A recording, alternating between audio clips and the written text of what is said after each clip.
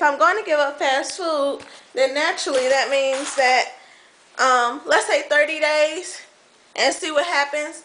Naturally, look at my dog. He thinks he's coming. Are you coming with me? You're not going anywhere. The car is already dirty. I guess you could go. I'm going to go to McDonald's right now. My favorite place is actually Chipotle, but I, keep the camera on my face. I actually waited too late, so we can't go there. But yeah, I hate McDonald's. I really don't like french fries, but you know, I'm just doing it just because I'm not going to have fast food in a while.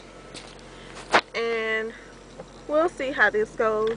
If at the McDonald's, but there's an unexpected line. Well, I guess it's to be expected. This is the cool kind with two entries. I'll go into the one I think more people go into. Ice Mocha. Please place your order when ready. Hi, can I have a large fry? Anything else? No, that's all. 211 to Brenda, thank you. Well, actually, can I have a, a large soda too? A large what? Uh, a large soda, Coke. Is that it? Yeah, that's it. It's gonna be 3, um, 317 for Brenda, thank you. Thank you. Just remembered I don't I don't buy Coke at the grocery store, and I really wanted a Coke earlier, so I'll just uh, commit that sin too while I'm here. Um, yeah, I don't drink a lot of soda. I definitely don't buy it, but sometimes I just have a craving for it. Now,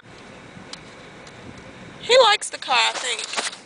And he likes his crate too. I think he feels like if we go far, I think he's a lot more comfortable in his crate than he would be out in the open, you know, me going really fast and him becoming a projectile in the case of an accident. Home with the great American meal. See, they gave me napkins. That was a pretty nice McDonald's. Even though the line was long, they were pretty good. They didn't have, um, they didn't have ketchup in the bag, but, you know, I, I know to ask for it as do many of us well-trained Americans. Okay, so McDonald's got me. I won something today. Let's see if you can see it. You can't see it. It's a medium fry. That's what I won. And I have to redeem it by November 15, 2010. So what's today? It's not going to be a month. I'll give it to a friend. That's what I'll do. That's fine. Today is Buster's bath day. So he is freaking. Come on, Buster. Here you go. Come on. Get it. Buster. Okay, go forward this way. Put your little booty.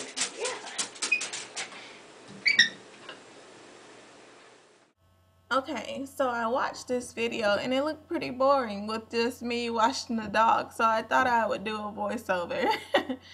um, this is me washing the dog. He hates the bath and he is kind of, he's not big, but he's about 35 pounds, I guess. Somewhere between 30 and 40 pounds.